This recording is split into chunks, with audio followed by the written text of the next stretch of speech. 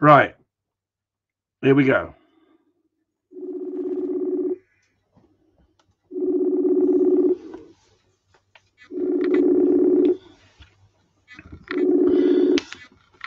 Okay, go, Christopher. Uh, good afternoon to you, Gary. How are you? Fine. We are we are live at the moment, Gary. So I just thought I'd let you know in case you tell me any naughty jokes or anything. I will simply say that the English culture has more naughty everything than any other culture because of Queen Victoria. exactly. So Exactly. I would never deign to tell a dirty joke to an Englishman. Exactly.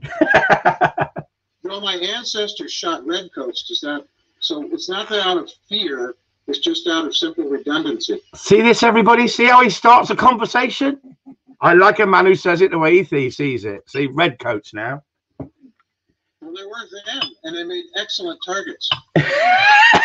Excellent targets. It's a bit like the Welsh and the Scottish rugby, everybody, this, isn't it? Eh? A bit of rivalry. You can't beat a bit of rivalry. So, what I'm saying, Gary, I've introduced you. I've introduced your clicker, uh, www.clicker, to the to everybody on here. We've got a number of people in here.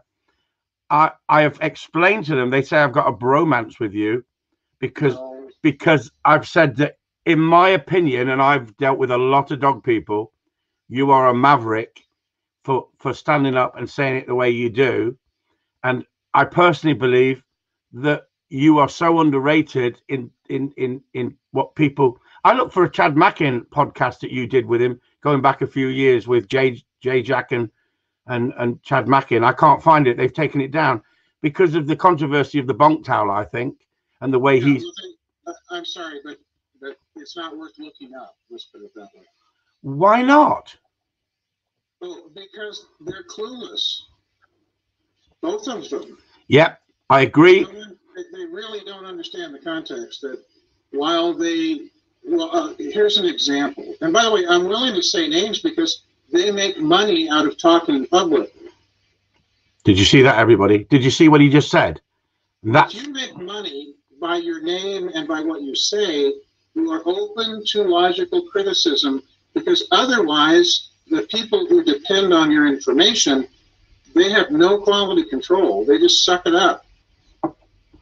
exactly, exactly. Okay, so I'll give you an example. Chad Mackin's big Mackin's big deal is pressure and release. Who thinks all behaviors are a matter of pressure and release? They're all control of behavior. Okay, so buy an Australian cattle dog and let's talk about how they bite the planted hoof. Hmm. And then we look at it and we see that this dog, whose primary purpose in life, instinctively bred into the dog, is to bite the planted hoof of an animal, any animal. However, they're never allowed to bite the, or harass horses with riders. Needless to say, that would obviously be a problem.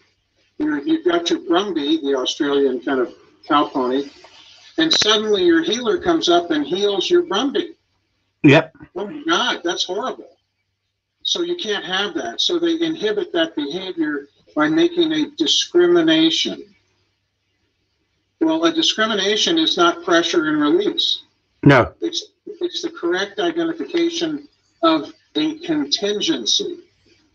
So one problem that these people have is they find a catchphrase or a thought and then they attempt to apply it in all things. And um, Bernard Baruch was an American philanthropist and capitalist and real rich guy back in the 1920s and 30s. He is credited with saying that if all you have is a hammer, everything looks like a nail. yep, And by God, you're going to hammer it until until it is a nail. So I have always avoided ideological and doctrinal perspectives on behavior because first off, behavior is not one dimensional. It's incredibly complex. And all you can do in terms of one dimension, is define a desired outcome. And then you can have pass fail. But that might require examining multiple criteria for success And then ultimately you can say, okay, it worked or it didn't. And when you have a mantra or a litany, you, you're thinking of process, not result. And, and I don't do that. It's all about results. The process that I use is kind of um, whatever efficiently answers the questions needed to fix the problem. I mean, I mean, you, you you've been around since the eighties, as in dog training, if I'm right, Gary. Am I? You are. And and and do you come from that? By listening to the podcast and that, you come from that culture of. Um, I thought it was fantastic when I, I I listened to some of your podcasts about in the rescue centres and how you realised dogs were just being euthanized and and that what you had to go through as a manager and and and, and making those decisions and then you came Yeah, across I mean, clicker training in 1977, I was um, working two jobs. I was selling guns at a sporting goods shop, and I was tending beer at night. And um, in a right proper pub, really. yeah And and I was tired of working two jobs. I took a job managing a small animal shelter. And one of the things that happens in an actual animal shelter is you don't get to complain about reality, you get to deal with it. Mm. And you can't lie. If you lie, it just compounds problems. So when I became a trainer, eight years later, I was I realized I already was a trainer. And when I became a trainer, I I didn't lie when I was a shelter guy. I didn't lie when I was a trainer. Mm. You see, having a litany and some kind of mantra is a great way to fool people and make cash. And uh, that's not why I do this. It hasn't ever been. So you find that people in rescue, this is a huge irony, they don't have the slightest idea or interest in how to fix the problems that got the animal into a rescue agency in the first place. So imagine if I owned a car lot and I didn't care if the cars were running or not. I never made an effort to diagnose them or fix them. And then I just sold them to people as is. That's a dog rescue group in a heartbeat. yeah Now, what if the cars in my care that didn't work anyway were steadily declining in the ability to ever rehab them? Well, nobody would buy cars from me. And Hmm. why people go to rescue, I have no idea because it's the worst way to get a dog. Because within rescue and animal shelters, the rule is to lie by omission or commission because you only get credit if you chalk up an adoption. Ironically, they bitch at puppy mills because all they care about is selling the puppy. Rescues only care about getting a sale. They can call it an adoption if they want, but they're just selling dogs. And if the puppy mill people are evil for lying about the quality of the animals they produce, how is a shelter any different? exactly exactly Yeah. Now, here's what's worse in their case. Nature has decreed that unless there is some aversive event connected to a behavior, it can neither be stopped nor inhibited. Cactus needles work because they are always vigilant, and if you touch them, it's a problem for you, not the cactus. But you will stop touching them rather rapidly. But that doesn't make you shrink from cactus. You can go through a cactus garden, not a problem. You just don't touch them.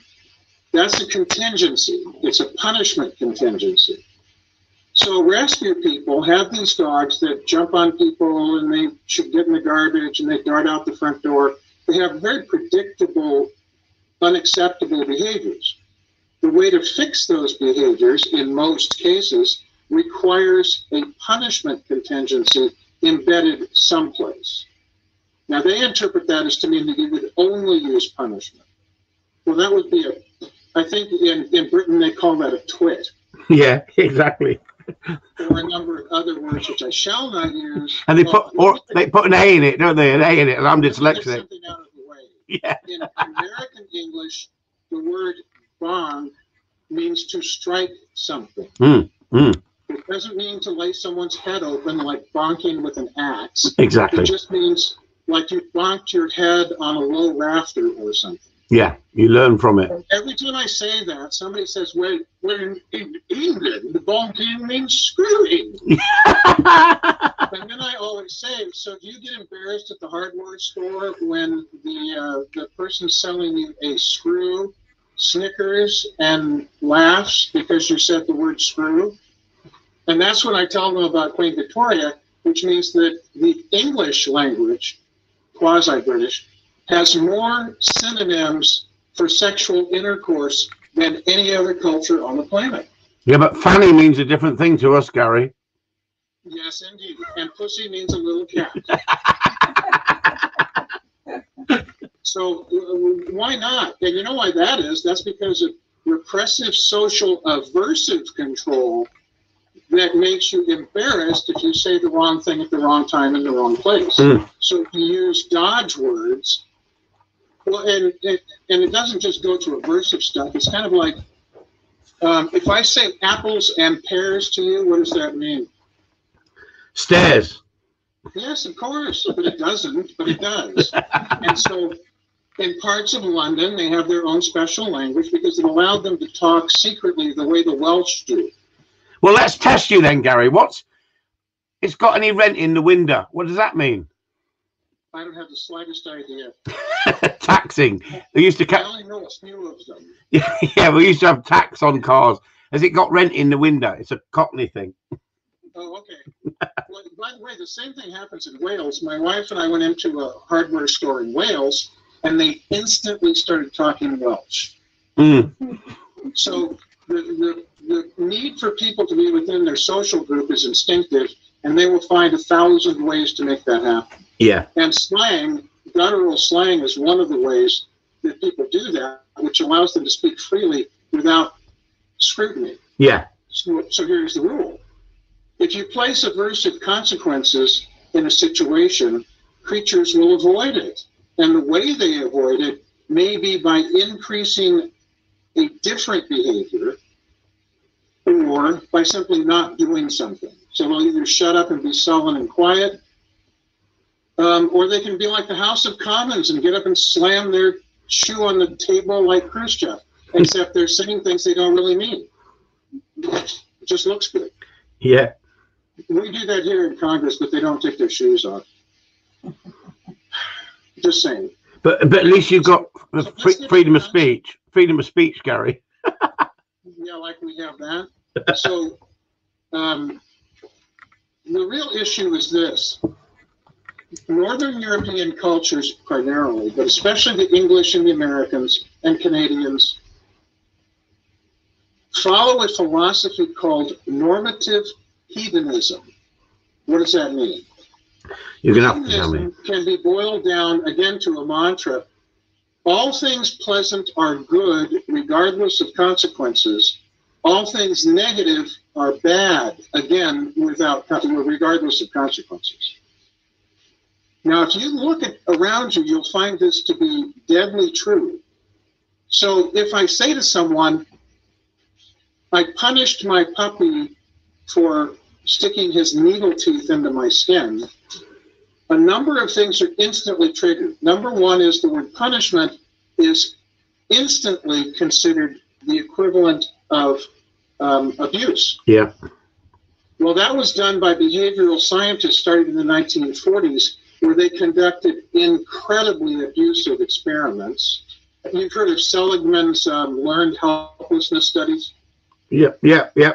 Yeah. So this guy puts the dog in a place where there is no escape, and he just shocks the crap out of him repeatedly. Yeah.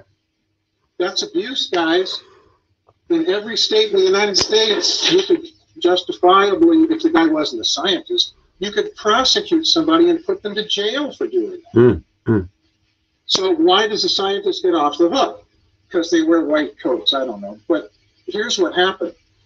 By conducting abusive experiments and calling it, they have a term for it, non-contingent punishment, they did two things. They justified the abuse and they fused the word abuse into the word punishment.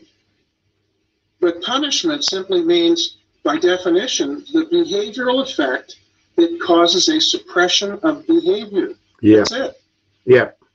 Heavy rain punishes you going out bareheaded. And how do you stop an unwanted behavior? You punish it. Exactly. You can't say that Yeah. because, of course, they're all focused on process and not outcome. Yeah. And once again, this is um, it's ideology, and and I'm not being disrespectful in saying this, but the medieval Catholic Church um, made rules for people that they didn't care if the people got closer to God; they just did it, and that's the monastic system in a heartbeat. Everybody has to be deprived. Number one. So what do we do with dogs that are recalcitrant? We put them in a crate. We lock them up. It's all deprivation, which, by the way, is a form of punishment, but they won't admit it Yeah. because they don't use punishment because they're all positive. Okay, that's fine. That's like it's for your own good, so I'm going to lock you up in this room for five hours. Yeah. That's not addressing the behavior, is it? They have that that, that, you're aware of the nanny person who has naughty chairs where she puts children in it. Yeah. So, okay. So, why is depriving someone of their natural freedom a kind thing to do? Well, if it can stop an unacceptable behavior, it's certainly justifiable. However, because they're focused on process and not result, they never look at the result to tell you if it worked or not. And, and you can only deprive someone so much, and then what do you got left? Let's say you put somebody in the naughty chair for eight hours a day Mm. Why not just slap their little rear end a couple of times and end it immediately? Because spanking is, is invariably never harmful if it's done correctly. They don't even allow that that can be done. But I was spanked as a child. I didn't turn out to be an axe murderer or a politician, which is almost as bad.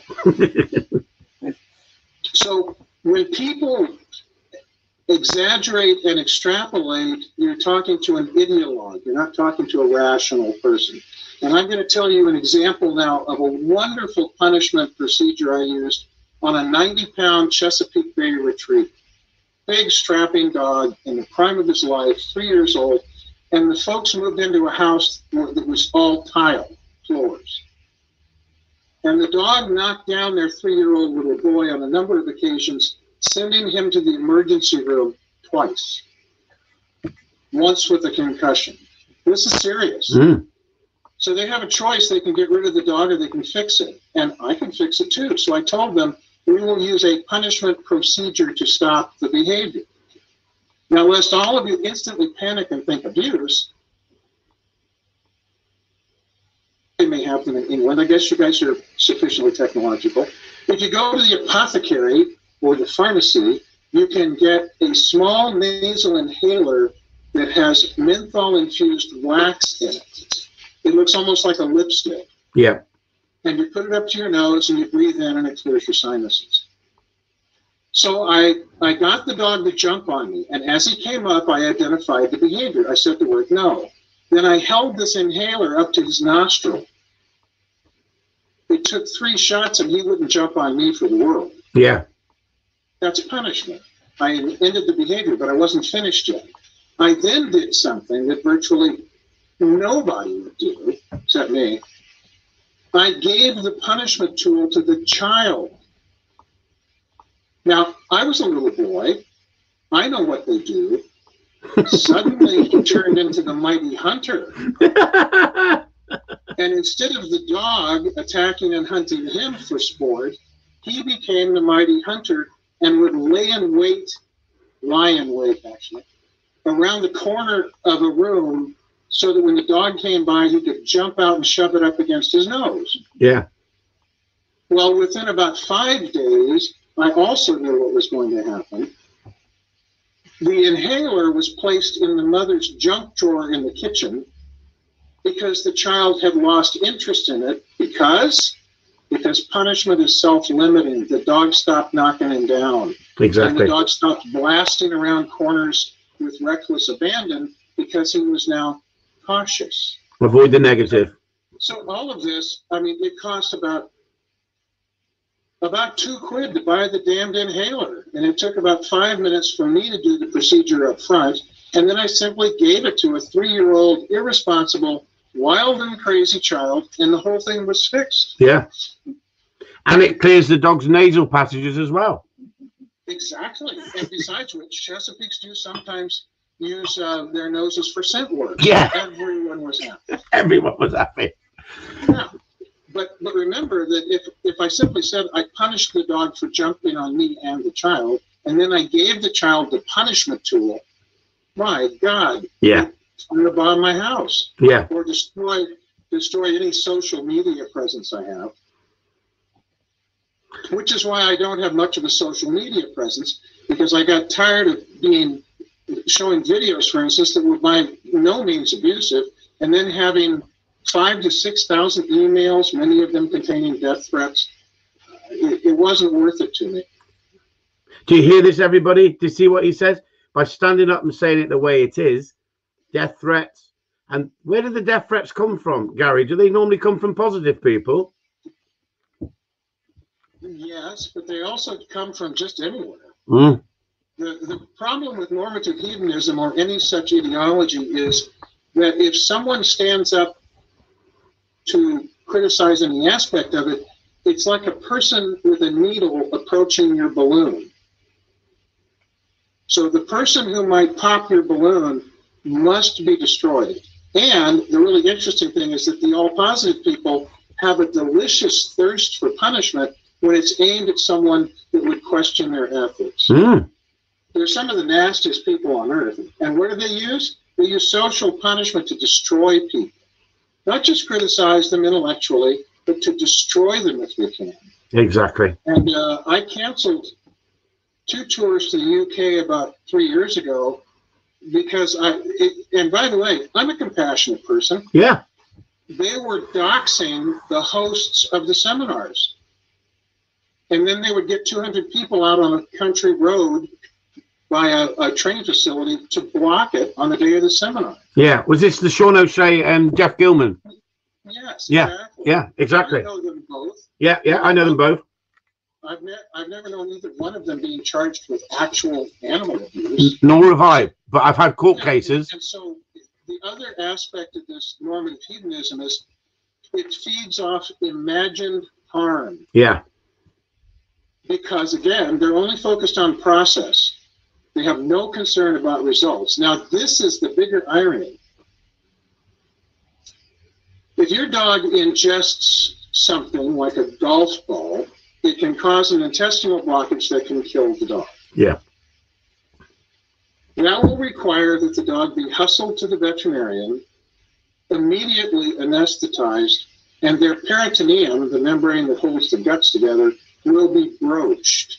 Now, the instant you, you breach the peritoneum, you run the risk of sepsis, which is quite often fatal, very difficult to deal with, because any kind of infection that gets into your belly will kill you. So we now have a situation where the dog's probably unconscious. It's on the table. The surgery may kill it. And once it wakes up, it meets with an old Wild West term that we should all know, and that is gut shot. To be gut shot is horrible. Why? Because it's so painful. so, so now the golf ball's removed from the dog. He's stitched back up again. he's still at risk of death by sepsis. Oh, and by the way, he's going to be in very serious pain for weeks at great expense to the owner. And there is no inhibition toward the dog eating the next golf ball it sees. So behaviorally, nothing's been accomplished. Now we balance that with someone such as me who says, well, let's teach an inhibition to eating golf balls. So I want a comparison here. The other thing that ideologues don't do is they never make, when they talk about moral judgments or morals, they don't get it. You cannot make a moral statement, a moral judgment, unless you compare at least two things. There can be no right if you don't tell me what is wrong. So I'm going to lay out a comparison here. You can take an electric shock collar, if they're still legal, Yeah. and um, at the instant the dog goes after a golf ball, you can start a Pavlovian conditioning process so that as he focuses on the golf ball, he hears a tone built into the collar. And it goes beep, beep, beep, beep. And then about three seconds later, he gets the snot shocked out of him. Heavy, big heavy. He screams and runs away from it. Why? Because that blessed little golf ball is lethal. Yeah. He eats it again. Now we compare his terrible fear of golf balls, his screaming and gyrating and immense pain that goes away in about 10 seconds, with ingesting another golf ball and being cut open again, and they don't, they really don't survive many of those surgeries. The vet starts running out of bowel to stitch together. So the, the golf ball, indeed, as the dog goes home after the first surgery, is in peril of its life. Now, here's the question What limits will you place on the trainer with the shock collar that even come close to approaching what the veterinarian is lauded for doing? Mm, exactly. The, vet, the vet's a good guy for cutting the dog open, slicing up his belly, pulling out that slimy golf ball, stitching it back together, and sending him off for weeks of intense pain. And you're a bad guy. Yeah. with, with no protection whatsoever for the next golf ball that comes in. Yeah. He's the he's the good guy. Hmm. The bad guy, and I want you to remember this, Mm. the bad guy is the person who uses the least a mess, uh, aversive method. That's a favorite catchphrase of all positive people. So the trainer uses the least aversive process that prevents the dog from going to the vet in the first place, meaning by using proactively or prophylactically, by using a trainer with a shock collar, you prevent the dog from ever having its life threatened. So these these one-dimensional, all-positive people are incapable of understanding the concept of prophylaxis. We take a steel needle and shove it through a puppy's skin to inject a modified virus that could kill it. Yeah. Yeah. By the way, my wife just went into a facility and was vaccinated against COVID 19 and tested positive for it four days later. Yeah. I read that. What you said. Yeah. Now, I, I'm not going to bitch about that because I ran a shelter. I understand disease vectors. I also understand that viruses, that, that a vaccine could give it to me. Mm. That every vaccine, Mm. that happens. Um, I had a, a, a cat that was vaccinated against rabies. He got a, a, uh, uh, sarcoma, a cancer, from the vaccination. Mm. And it's so common that they give rabies vaccinations in the right hind leg, and they give um, leptospirosis and um, leukemia vaccinations in the left hind leg. So Hmm. if a tumor forms, they know if it was the rabies vaccine or the uh, feline um, leukemia vaccine. So these things happen. Vets know about them. They just don't talk about them. Yeah. So imagine having a cat, your dearly, and trust me, I'm a cat guy. Your dearly loved cat goes to the vet to get a vaccination to be boarded based on an arbitrary rule by some person in the state veterinary board. He has to be vaccinated, though he's never been exposed, he's never been out of a house in 12 years. So he can't have rabies, but he has to be vaccinated anyway. And he gets a life-threatening cancer from the vaccination. Yeah. I, I'm real sorry, but my most logical self doesn't accept that well. But uh, do you know? Do you know what, Gary? In this country, I had a RSPCA in, in, in, inspector come round and accuse me of abusing a dog because of a video that he watched, and they took it to an animal behaviourist. And I went, "Who is the animal behaviorist?" It said it's a vet. I said, "And what do they say?" They said that's abuse. And I said, "How do you define abuse?" They said, "If the dog can be seen to be in distress." I said, "You're you're ridiculous." So I went to the police station. I was questioned for three hours. And I was told by my solicitor, you don't need to say anything. I said, I've got nothing to hide. Everything I put on the internet, I stand by. I, I use discipline, I use correction, but I don't abuse dogs. And they said, if, I said, define abuse. And they said, if a dog makes a noise and it can be seen to be in distress, then that is abuse. So what you've just said, technically, you can be prosecuted in this country if that dog shows a visual sign or audible sign of distress. It's ridiculous, isn't it? Wait, wait, wait. That happens in veterinary clinics all the time. Yeah. So why don't we lock up veterinarians for abuse? Hmm. Because oh, here's the other thing. We, we have a. I don't know about the British education system, but do, some of you probably know the name Rene Descartes. I've heard you mention it. Yeah. Yeah, he was a French, stupid French philosopher during the Age of Enlightenment, which it really wasn't in a lot of cases. And here's what he said We are all two creatures, the mind and the body. Well, I don't know. I think we're kind of one organism, but he thought we were two creatures. And so does virtually every religion in history. Mm. There's the mind, there's the soul, and then there's the body. Okay, I, I'm not worried about that, except when it gets to ethics. Mm. So, medical ethics allows a veterinarian to cut a dog to ribbons to save its life. But a trainer isn't allowed to give enough a dog enough stress. We've just lost you there.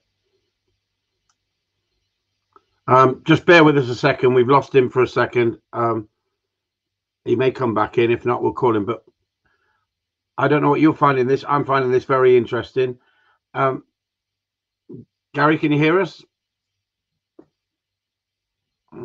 Unfortunately, we'll just we'll just give it a couple of couple of seconds, and we'll perhaps go out and come back in and give him a call again and see if we get a better line.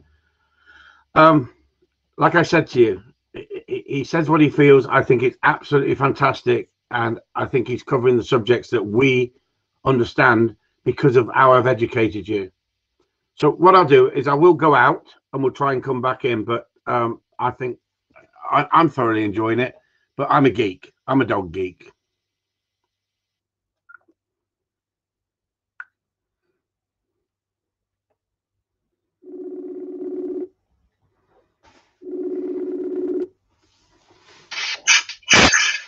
Hello, Gary. Sorry we lost you. That's all.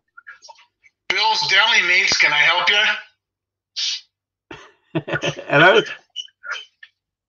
Can you hear me? Yeah, we can hear you. Yeah, yeah. Okay, so let me reiterate. This is these are important points. Mm. We are one organism. Your brain cannot exist without your body. Your body cannot exist without your brain. The brain is an organ like your liver or kidneys. It has specific responsibilities. You cannot separate it as much as Jesus Christ, every hippie and his brother wants to separate their body from their brain, as do uh, Buddhist monks and all kinds of people. And by the way, I don't denigrate those people. They can do whatever they want. But when it comes down to medical and behavioral ethics, attempting to have two sets of rules is insane. Not just stupid, it's insane. Yep. And the reason it's insane is that, in at least in my experience, the main killer of dogs is behavior. Yeah. People live with them. You can't live with a dog that attacks you. Well, you can, but then you start looking into buying a shotgun. That elevates the relationship to one of insanity. Yeah. So, so what if the behavior can be eliminated? And this is what they don't tell you: is that punishment is self-limiting. If the dog jumps on me and I punish it, he's not going to jump on me again. Why would I punish him? There's nothing there to punish. And so it is the extrapolation and wild imagination of imagined harm and sadism that comes from ideologues that makes this problem. They assume that you are the lowest of creatures. You are a sadist. You will beat your dog horribly for no reason. Well, that would be abuse. Yeah. But that wouldn't be punishment because punishment causes the suppression of a behavior. Well, if the intent of the of the abuser is simply to inflict pain, that's not punishment. That's got nothing to do with punishment. And so what they do is they change the language, they change the perspective, they vilify those who disagree with them, and in the end, um, a great number of dogs die for no purpose because they could have been fixed rapidly. That happened to me. I was in the Miami um, Humane Society, when I did seminars a lot, I would give a day of training, staff training for animal shelter personnel because I know the stuff Yeah. and I know it better than the people usually currently there. So I teach animals safe handling, things like that. They had a kennel that was tiled, very expensive and very noisy, so you couldn't hear yourself think because it held about 100 dogs. So I walked out there, and what it meant was they had to have um, adoption counselors who would go fetch a dog from the kennel, bring it out to a quiet adoption room. After that, they would take the dog back and get another one. But they couldn't walk down the aisles and point to one dog versus another and say, well, this is a lovely dog right here. Skip this one. This one's nice too. Which ones do you like? So I said, well, that can be controlled. And I went out and I rolled up a bonker, which is just a rolled up cotton towel. Yep. And I looked at the dogs. Remember, I spent eight years in, in shelters just like that, so I kind of know my stuff. And I picked the two dogs I thought were the instigators. Yep. And they were both pit bulls, very, very brawny little creatures. You couldn't hurt them with a two by four. And so I said no and bonked them when they were barking. And within about two minutes, you could hear a pin drop. And the humane care director, some little bimbo with a college degree, grabs everybody and takes us down to their training room and says, You will forget everything this person has told you. Exactly. Exactly. We aren't going to do that. So this is the other indictment of the humane movement. They actively attack the processes whereby a multitude of dogs could be saved because they don't have the guts to stand up to the public and say, this isn't abuse. Screw you. Yeah. Exactly. here or don't. We don't care.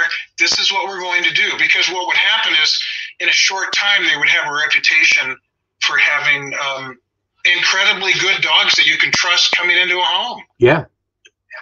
So they're cowards. Besides being deluded, and and the other part of it is the stupid supposed sainthood that goes along with what they do. Yeah. I- I'm sorry. I was my father was a Methodist minister. I have hated ten saints since childhood, and the humane industry is filled with them. Mm.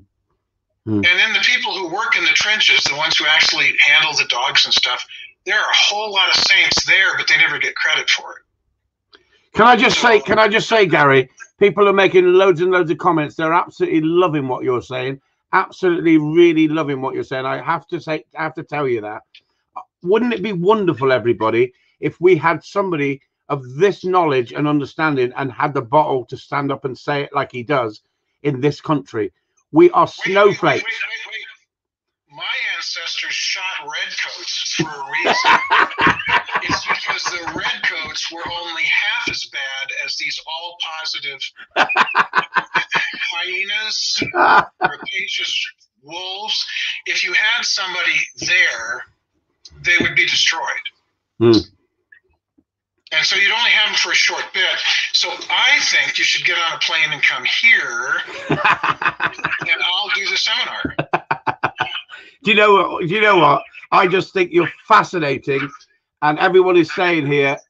Our, our, what we do, we put up a, a logo, and it's bollocks. Show us your dog. Never mind the bollocks. Show us your dog, because the dog tells the story how well you've trained it. There was a movie Jerry Maguire or something. Yeah, that's it.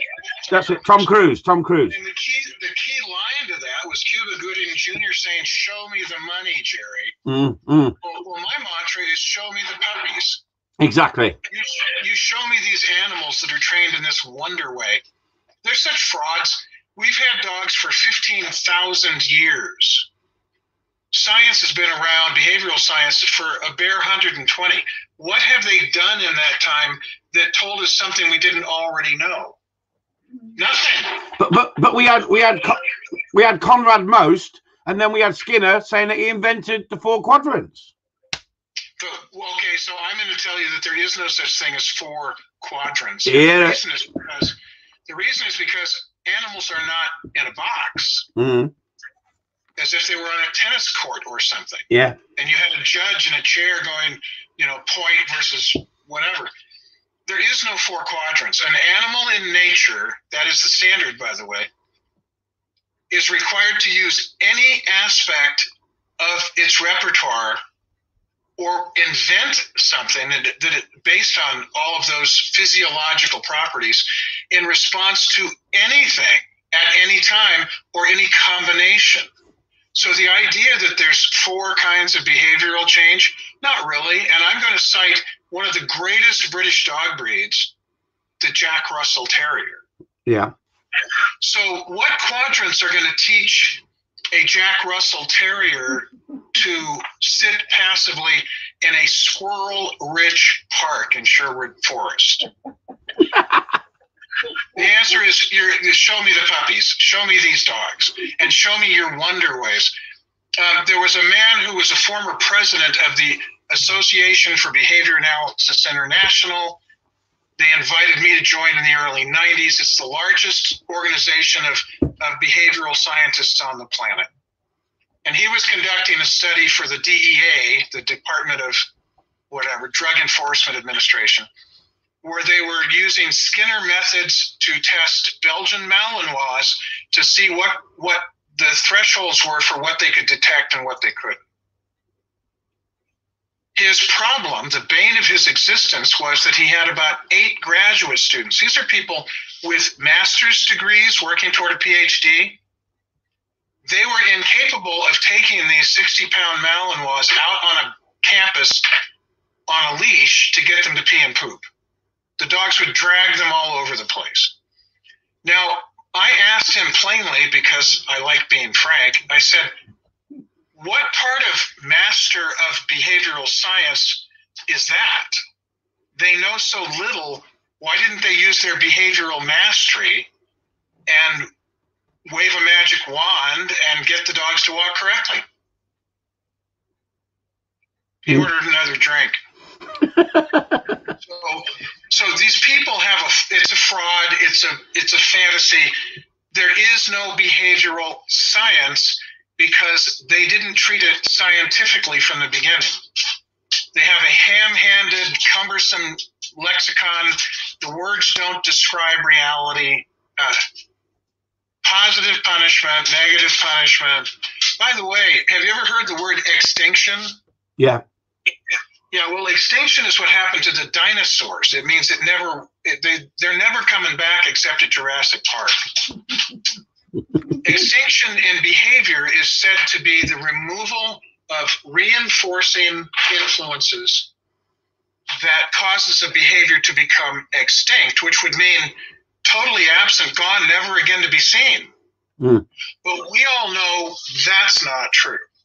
Now, there are people, let's say you know how to play bagpipes, poor man or woman, and you've not had enough Irish whiskey to suppress the behavior.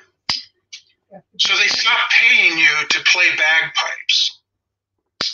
I'm sorry, it's a brain infection. It isn't going away. Once you have learned to play bagpipes, you can't stop. But, that, but that's not the total point and especially now that police and in um, in the United States, when somebody dies, they always play "Amazing Grace" on pipes. It's like what? Give me one second. I have to put my dog in a crate. It was either that or t- hog tie him. Hear that then, everyone? He's put his dog in a crate to stop the behavior.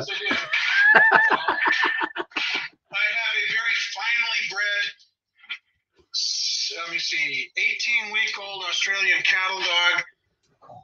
And he gets into things because he's just at the stage of losing his puppy teeth. Yeah. Yeah.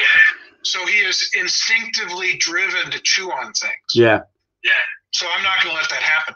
I just put him in a timeout, which, oh my God, you know what that is? if my attempt is to control his behavior for the future, that would be called negative punishment. Yep. But they don't call it negative punishment. They call it extinction. The two words mean the same thing. Why don't they use the four quadrants when they describe behavior? They invent another word, and the other word they steal from Common English doesn't really mean what they imply that it means. Because again, the dinosaurs aren't coming back, guys. now, here's the second aspect of that. You know how the typical thing is if the dog jumps on people when it comes in, just turn your back and ignore it and withhold reinforcement. Well, I hate to tell them, but that actually is a broader philosophical and intellectual problem. They have just proposed that by removing reinforcement for a behavior, it disappears. Yeah. Well, I have a friend. Her name is Dee Dee Pease. My God, she's 68 years old now. She was sure cute back when. Anyway, uh, when she was in her 30s, she went to Paris and she met a Frenchman. That's easy to do there. And um, she married him and went to a small French town, someplace near Verdun, I think. I don't know. Yeah. Where nobody spoke English. So she lives her life in a place where English isn't functional and she doesn't speak it. But she comes home every 10 years for high school reunions. And when she comes back to Los Angeles, she doesn't speak in a French accent. She talks like a kid that grew up in LA, just like I do. That's my accent. Mm. So, why didn't she forget English when she was reinforced heavily for speaking French and never reinforced for, for speaking English? She should have forgotten it. But that's BS. It implies that your repertoire isn't additive, which it is, if I play, and I, by the way, I play five musical instruments for my own pleasure. I played semi professionally for about 15 years. I'm good enough that I could stand on stage and play most of those instruments tomorrow. I haven't forgotten anything about them. I, I'm a little rusty, but I haven't forgotten how to play them. And so, if in fact absence of reinforcement equates to extinction, I shouldn't be able to do those things. But nature would kill any animal who forgot behaviors as soon as another one came up to the top and became the default. You don't have that choice. In nature, you might have to leap across a chasm to avoid a mountain lion, for instance. And then 20 minutes later, you actually load your shotgun and kill him. Two completely different behaviors if focusing on leaping over chasms made you forget that you have a firearm, you die. Mm. And if a coyote forgot that, oh, that's right, I can leap across this ditch and then there's a burrow I, I can go into about badger size that the mountain lion can't get into, which is what prairie dogs do to coyotes. In other words, you're not allowed to forget things just because you haven't been reinforced lately. Oh, do we want another aspect of this nonsense? Carry on. Look up the word learning in the dictionary. And by the way, I have an unabridged Webster's, one of those giant library models. they tell you about learning from the standards of reinforcement. Well, why isn't a punishing experience an example of learning. Well, it is. It is. It's I reinforcement. Learned, I, I, learned to duck my head going down the stairs of this really sleazy pub in Soho. Uh, if I said that to you, you'd know exactly what I meant. You'd say, well, you learned not to hit your head when you went downstairs. So, but when you look at the definition, it specifically talks about um, reinforcement. Well, that's stupid. It doesn't make any sense. So they've doctored up the. Um, oh, here's a good one. This is from Wikipedia. God, I love those people. According to them, Saddam Hussein was a benign monarch who shouldn't have been deposed. But anyway, learning learning is the process of acquiring new understanding, knowledge, behavior, skills, values, attitudes, and preferences. The ability to learn is possessed by humans, blah, blah, blah, blah, blah.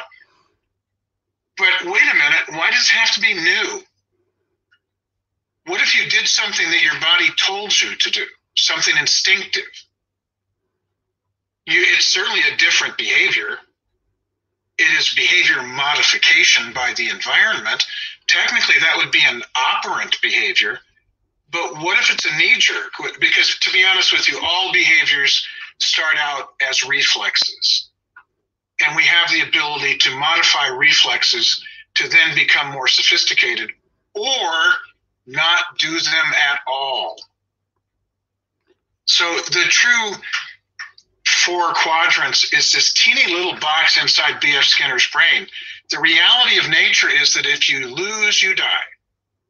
And you better have all the capabilities necessary to survive in your niche. We all know about Charles Darwin. Yep. Well, Charles Darwin never said survival of the fittest. Never. Would never have said it. But if he did say it, he would mean it differently than we take it now. And um, Herbert Spencer, another incredibly brilliant Englishman, he's the one who said survival of the fittest. But what did he mean? Do y'all know about O.J. Simpson? Probably. Yeah, yeah. Everyone knows O.J. Simpson. Yeah, yeah, yeah. And the, the, the penultimate moment in the trial is when he's trying to get this glove on his hand. That's it. Didn't fit. Didn't fit. But he's Didn't fit. And his attorney says, if the glove don't fit, you must acquit. yeah, yeah, yeah, Well, Herbert Spencer meant hand to glove fit. yeah. If you as a species, not an individual, if you as a species fit your niche, then you will live to breed, much as college boys do. But um, I'm sorry.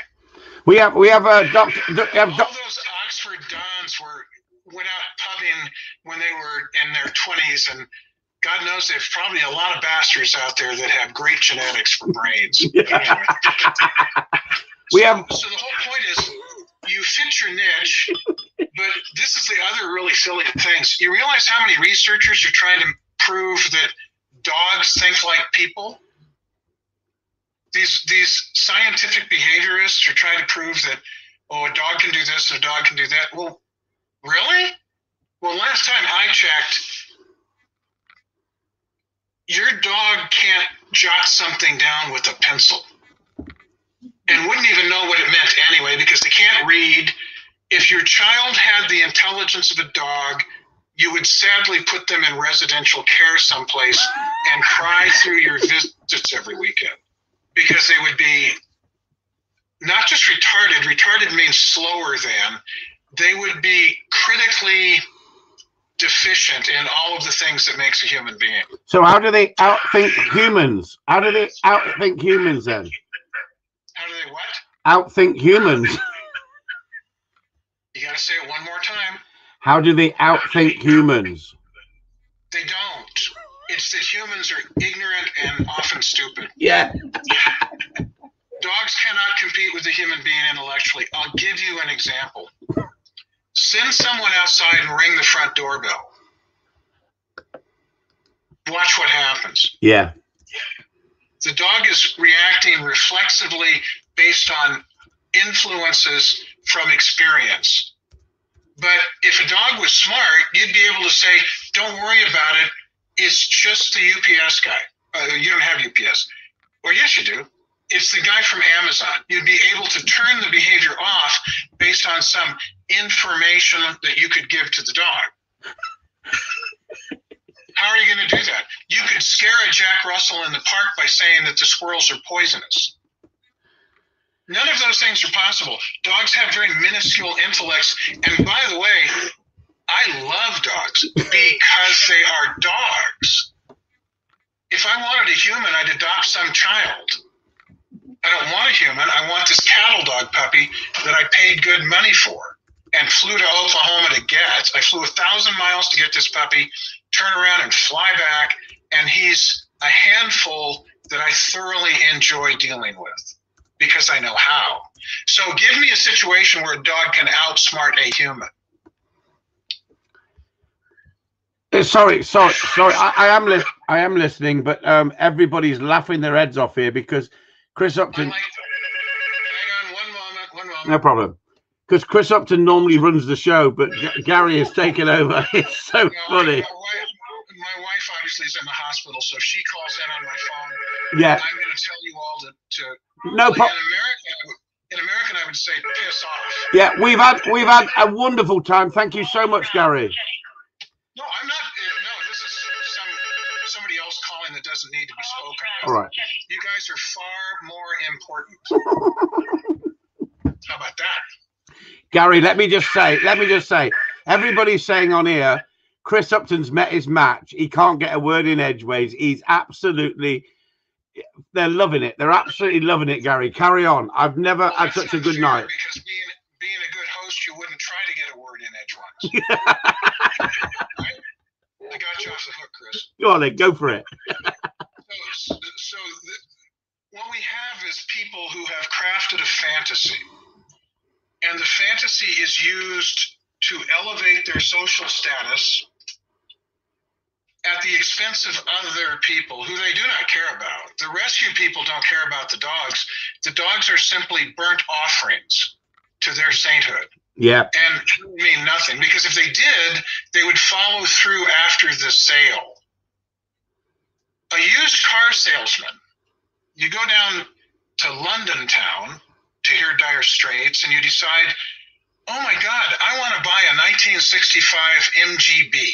I've always wanted one. So you go to a car lot and the guy sells it to you and you drive about, you don't call them blocks, do you? yeah.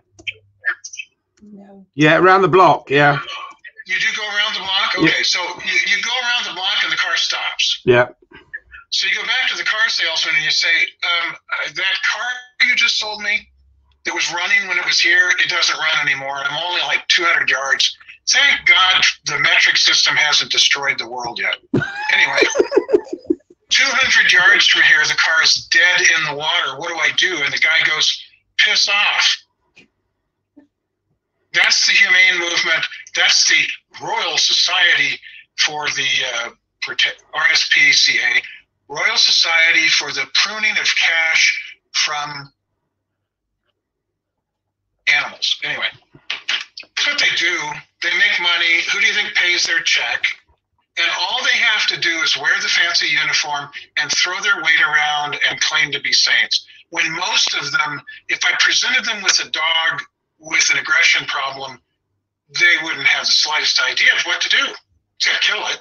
yeah, and by the way, I'm qualified to do that too. So when people threaten that kind of crap, like, well, I'll kill the dog then, I go, well, I can do it for you. yeah, I did it for years. It's not a big deal. So imagine an organization that uses threats of death to intimidate people. Well, if you don't adopt him, he might die. He's on death row. What an what abysmal ethics that would be. Mm. That We- you're actually intimidating and threatening people with the death of an animal to get what you want, which is the ability to put a, a, a dry erase marker mark on the whiteboard so you can have one more adoption. Th- These are not good people. and, They and really aren't. and this is this is what's happening in this country, Garrett. They're bringing in dogs from Romania, street dogs, to try and rehome them in the environment of a home where they keep fucking off. And you know where what Romania is known for? Street dogs. Vampires. Yeah, And Transylvania. Transylvania. Yeah, Transylvania's in Romania. They have vampires and they have werewolves. Mm. I'd be very suspicious. so now think about this for a second. We're so global now. Then they do that here. They bring them in Chinese meat dogs. Okay. Mm. Well, the Chinese are just going to make more meat dogs. There, there is no solution to this other than you're spending thousands and thousands of dollars on a dog when you could fix thousands and thousands of dogs with the same money.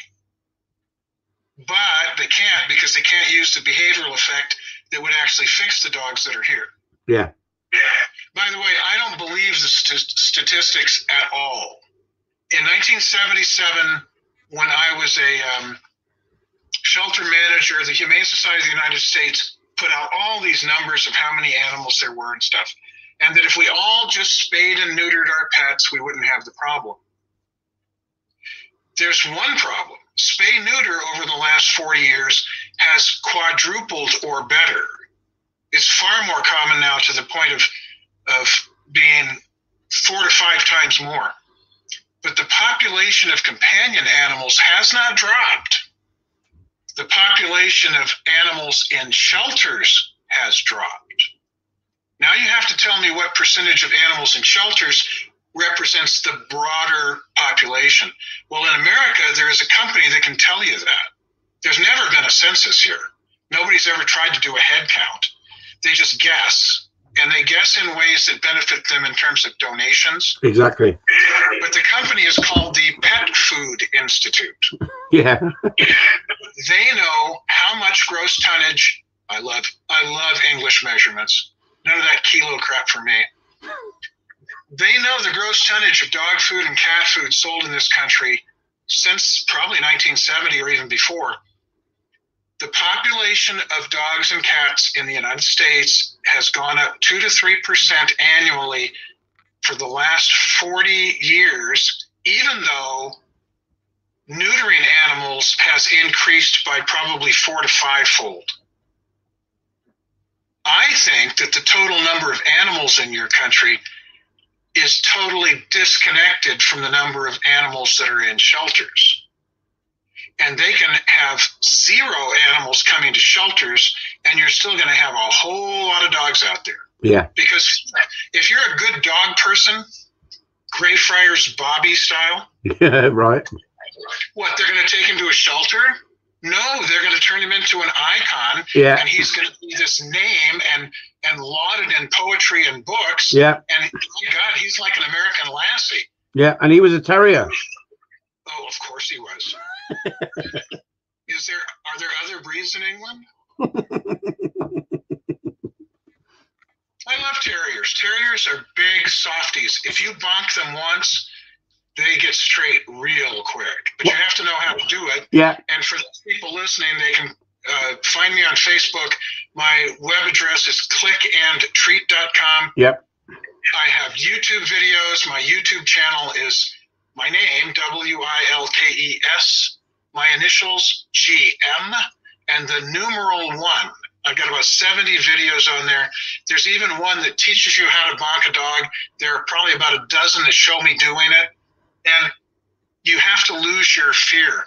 Punishment is self limiting, and the way I do it, there's no risk involved. No. You, it's harmless. You can't harm your dog with it. If you can, don't.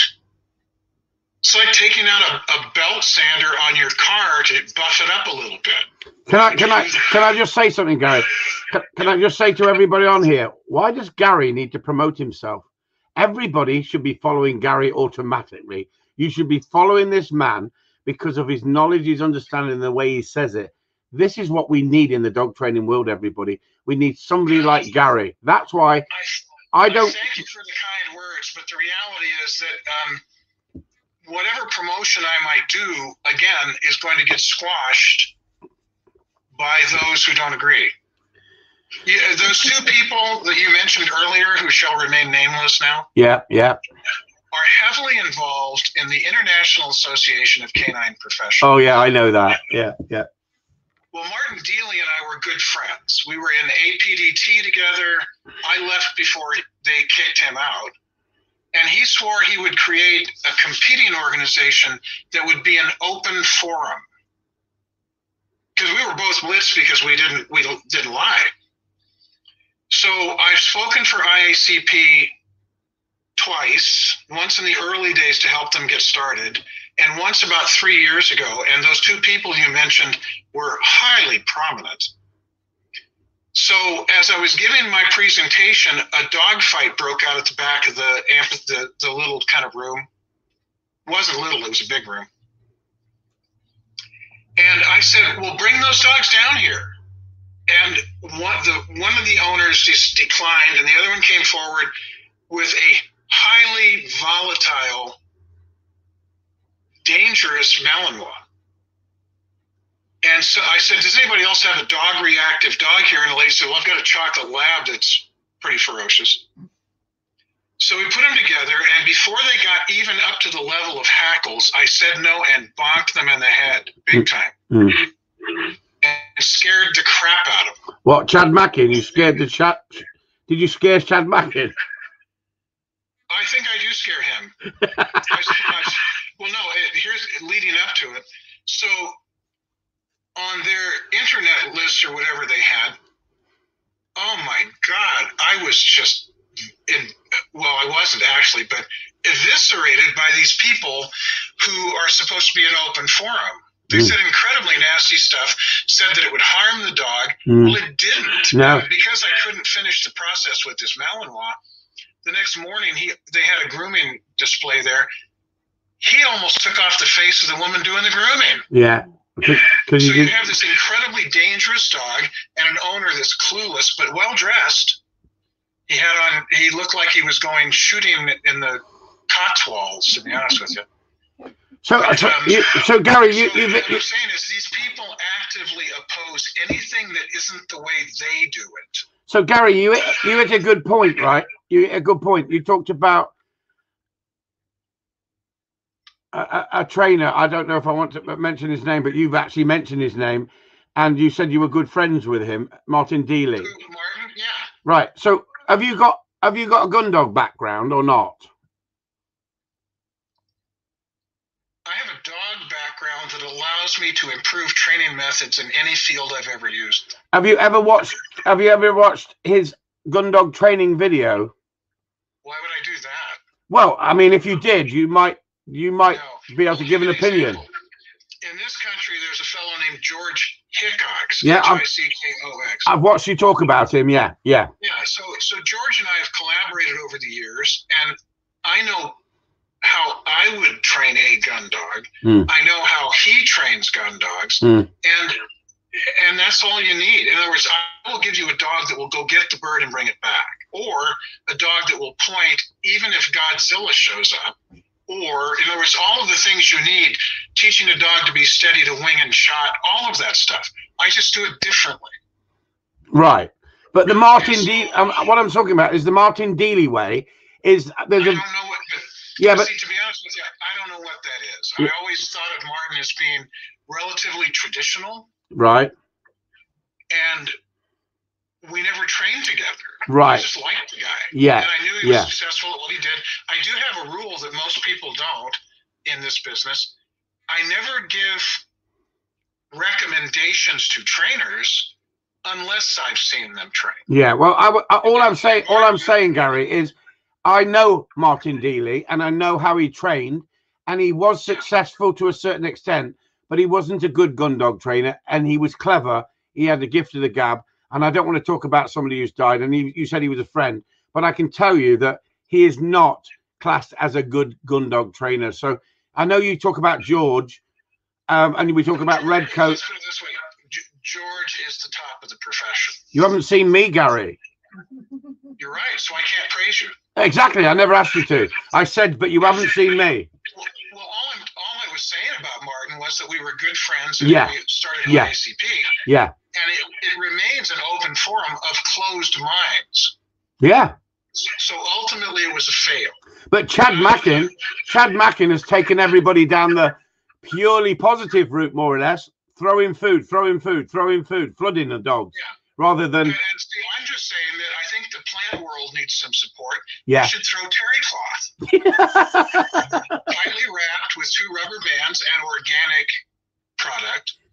And um, the main thing people don't get is that dogs hate projectiles. And there's a reason for that. If I was at some scientific conference, I can tell you the ethological reasons why canids are incredibly susceptible to things flying at them. yeah, It has to do with their predatory behavior. They tend to attack herd animals. And if at the moment of their greatest viciousness, trying to kill, say, a baby buffalo, yeah, if something comes into their peripheral vision, they instantly cut off the attack and run like hell. yeah, So the bonker plays off of an instinctive reflex, and as such is incredibly powerful and harmless. What more could you want? Gary, I use the bonk towel. I followed you. I use the bonk towel. I explain how to use it. I, I've defended Sean O'Shea and Jeff Gellman for using the bonk towel.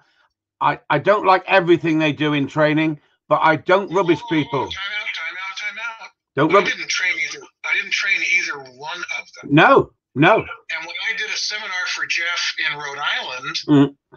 I was there for two full days. He had so many other business things happening. He didn't really even attend the seminar. Mm. So they may use something that I developed. I make no assurance that they do it correctly. Mm. Totally. Yeah, and, and by the way, I don't really care what other trainers do. If they wish to be intelligent, they will do intelligent things because it's it's your behavior that marks your character. Yeah. And so if, if you steal a trick from some other trainer and that's the extent of what you learned, well, you're a monkey. That's what monkeys do. So, so I have a question. I have a question, Gary, from Michael McLaughlin from Ireland. Question: Are gun dogs easier to sure. No, no, wait a minute. Hold, hold on here. Did you know that my middle name was McGee? McGee? Yeah. My McGee's came over in 1650. They shot redcoats too because their patriots in Ireland couldn't quite pull it off until 1918.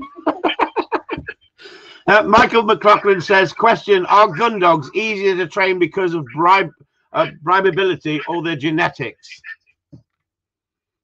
Yes. Both.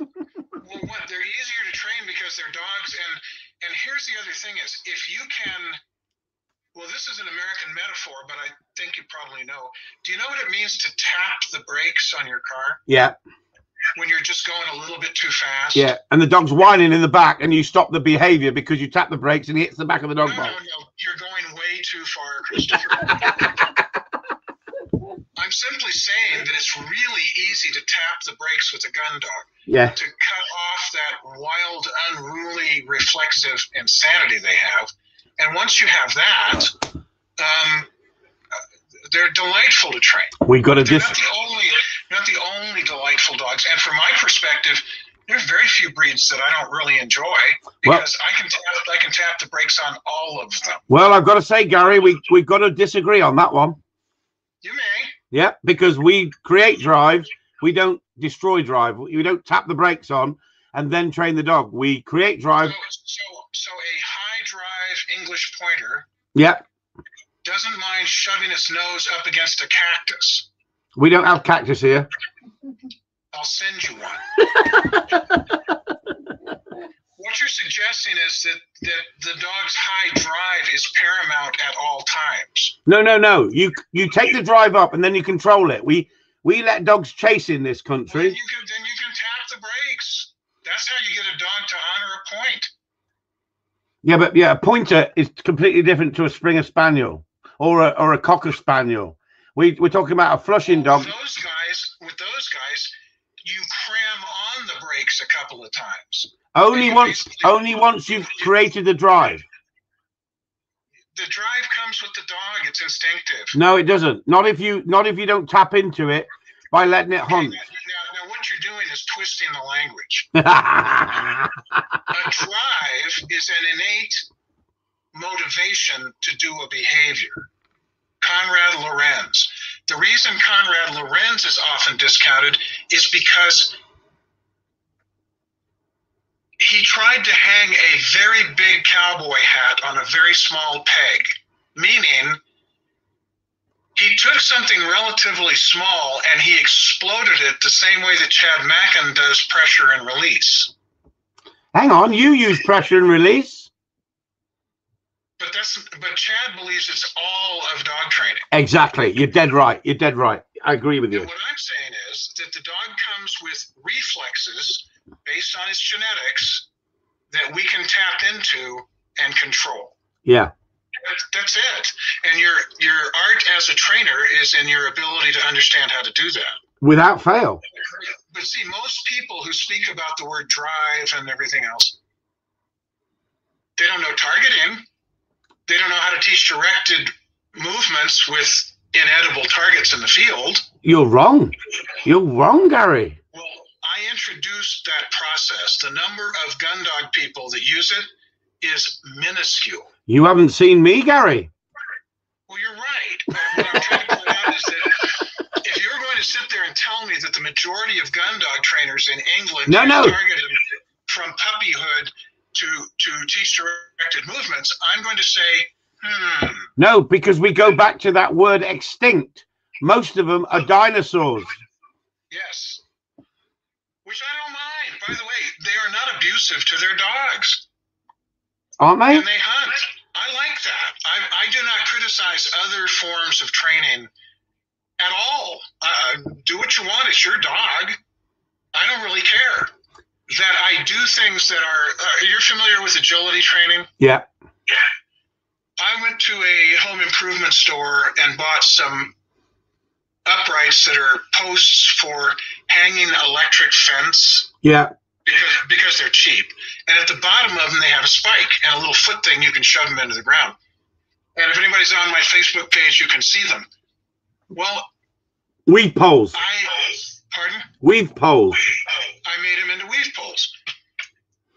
But at the end of the weave pole is a freestanding target that I manufacture.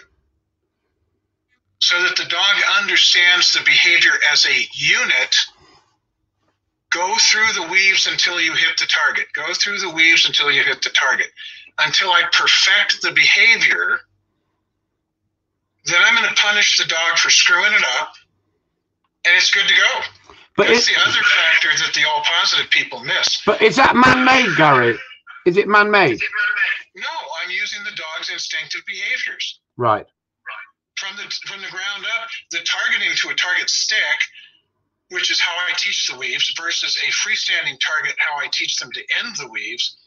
That's all built into the dog. They're very visual creatures. Yeah. Everybody makes a big deal out of their nose and their ears. No visuals ma- matter. They use their nose the way a pilot uses radar in dense fog, Yeah. which you have a lot of. Yeah. And there is no English pilot that would use radar to land a plane in broad daylight. We've got 10 minutes. I, I think there's a fine line between arrogance and confidence. But I love talking to people about mm, dogs. No, I think I think arrogance is a large balloon waiting to be popped, Yes, yes. and confidence parries the straight pin and then punches the person in the nose, which eliminates being stuck with pins. and, and does not make it extinct it makes it inhibited I said to I said to um I said to your friend one day in the shooting times in England, he was talking about training dogs with e-collars, and I said, with the lines you've got, they're that soft. Why do you need an e-collar? But since studying the e-collar and using it in the way that people like Larry Krohn would use it, I found that I can don't use it. that, i don't see i don't know what that means Well, he's a, he's another trainer, isn't he? But I mean, uh no i no i know but i don't know what he does yeah, but we're talking about exactly pressure and release. Really, it's as simple as that with the e-collar. well well i don't know about that because when i'm going to stop a behavior with an e-collar because as i said punishment is self-limiting. There is no behavior anymore. And that's not contained within the pressure and release concept. I'm going to i'm to blast this dog if i if it's something that needs to be stopped such as jumping a fence or ingesting an inedible object. I'm not applying pressure. I'm apply, applying serious punishment to that behavior to connect inarguable intolerable unpleasantness But but I could understand that. Pressure implies pressure is like what you do with the gas pedal on your car. Pressure and release, pressure and release. That eliminates steering. That means that all you have to do is know how to push the gas pedal. You can drive a car. Yeah, but yeah, but I can talk about I can talk about if you're wanting to stop a dog with snakes or something like that, no problem. But when I want to turn drive up, I can use an e-collar to get the dog to want to respond even quicker with light correction because it, it feels it's Well, no, low level stimulation can change behavior. yeah It's the best way to work with chronically fearful dogs. Mm. You force them to go to somebody they don't want to go to. yeah I do that all the time. Yeah. But but devolving to this kind well, here's another thing. I don't care about process. I care about results. And so when your mantra describes a process, and we plainly know that the process does not describe the complete tools at my disposal, I'm going to discount it as being sort of a childish attempt to make yourself look different or unique so you can build up your your social status. Yeah. It doesn't make you a great trainer. But Great I'm- trainers but I'm not interested in social status. And I believe that if I have to turn a collar up, I don't hold emotional baggage over it. And I will use a collar at high level when I need to, but I can use a collar at a low level and teach such wonderful behaviors where years ago we used to have to run after a dog, grab hold of it, and drag it all the way back. We don't need to do that now with an e collar used the way I show people. It's education. Okay, you can use all those words, but what I'm saying is all those words. what we're really talking about is how do you get a behavior to happen? How do you get a behavior to stop? In in what in what way? Say you've got a dog hunting and it's taking in too much ground. Well, let's go back for a second to the metaphor. Yeah. If I were going to hang a picture on the wall, I would use a lightweight, probably six to eight ounce hammer. If I'm driving nails in a two by four, thank God for the English measurements, then I'm going to use a 22 ounce hammer. It's the same hammer. There's no difference. I can even use a rock if I want to. Why? Because I'm focused on results, not process. And I'm going to use the process that is most likely to lead. Well, when I was at IACP, those they call themselves balanced trainers. Yeah, exactly. They're not balanced. They don't know a tenth of what I do about positive reinforcement. And they don't combine sequentially or concurrently, they don't combine consequences. And yet, that's the fastest way to teach anything. You tell the animal, if you do this, you get treats. If you do this, you get hammered. Metaphorically hammered, folks. I'm not talking about that 22 ounce hammer anymore. So, by using language that limits the way your brain thinks about the thing, you start making decisions that aren't truly objective. You start making decisions that are slanted toward a particular process. When in fact, uh, I can switch processes in a heartbeat. Yeah, Right? Because I, I don't know when I meet a dog exactly what they're going to respond to, and I have to experiment to find out what that is. And if something shuts down in the middle, I'll do something else. yeah. I have no loyalty whatsoever to any process other than that which works. Do you all? Do, do some of you know who Larry the Cable Guy is? Yeah, yeah, The comedian. yeah. He could. He has the mantra for dog training: get her done. Mm. Find out how to do it. If you have to use a soft hand, fine. If you have to use a heavy hand, fine. You want to use treats, fine. But if you use treats and you don't get superlative performance, you better rethink what you're doing. And that's a huge thing. I, I don't know of any other trainers who basically require the use of aversive control to proof a behavior, regardless of how you create it. Gary, can I can I can I just jump in for a second? We've only got I wasn't, finished with what I was saying. No, hang on, Gary. We've only got four minutes left. Else it's going to cut off because we've got a two-hour slot and it will just cut off. I want to say to people, this is a guy who uses food and uses markers and uses clickers, and he's talking sense. Isn't it wonderful? Wait, wait, wait, wait, wait. If I'm going to brag, I got to go all the way. Go for it. I, I created clicker training for dogs. Exactly. But you love Gene McDonaldson. It wasn't Karen Pryor. I worked with her for four years. She couldn't train a dog on a bet and has never trained a dog to any standard other than her own imagination. Exactly. That's a fact. Welcome to welcome to the marine world. Those idiots. Well, uh, so you've got a dog in a, in a pit and you're going to brag because you can teach it to do a backflip? Yeah, exactly.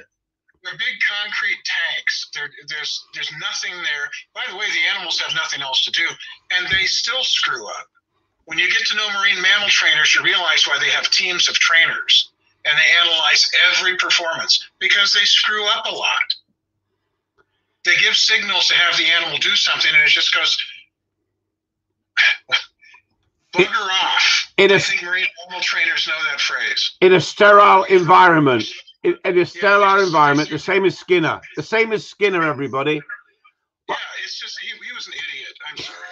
Listen, everyone, what a wonderful evening Take care. tonight. We had a wonderful time. I I wish we could do it where anybody could pipe in. But um, uh, you've had a hundred followers tonight, and we can share it worldwide if you want, Gary, and we will promote you. please, please do. We will, Gary, because this is what we need in this country. We need people like you. We need people who say it the way it is. Now, for payment, I required that you were going to give 50 quid to the retirement organization for um, Piccadilly hookers. Is that true? We were sending it to your wife. We were sending it to your wife. It's been my pleasure, Christopher. We are now at 228, so we're going to be winding it down. You're a I thank you all for attending, and I'm available if you want to. If you're on Facebook, it's even easier.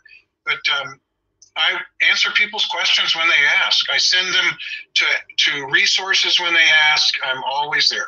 Absolutely fantastic. I've got to say, everyone, I think that's the best night we've had ever. And I don't say that lightly because I like talking. That man I could listen to for four hours non-stop. Absolutely Except- wonderful. Except I'd be drawn and quartered if we did it in England. And I and I have a problem. Good. You're going to get cut off in a minute. Go on, carry on. All right, carry on. And don't hold it against me that my ancestors shot redcoats. You bastard. You bastard, Gary. Well, you have Irish people there, and they did it too.